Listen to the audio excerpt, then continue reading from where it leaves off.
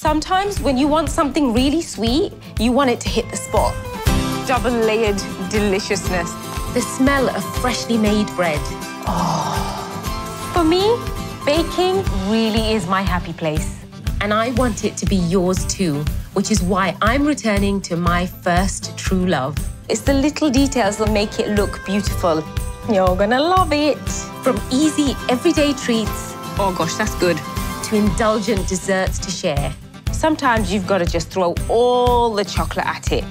There will be bakes for every occasion. When you rub it in and you're not sure whether you've got any clumps of butter left, you just shake the bowl and the clumps should come to the top. Plus, I'll be showcasing some of the bakers and pastry chefs I most admire. Once I've finished a cake, it's that kid in a sweet shop moment. I love that. So let's bake, eat, and be happy.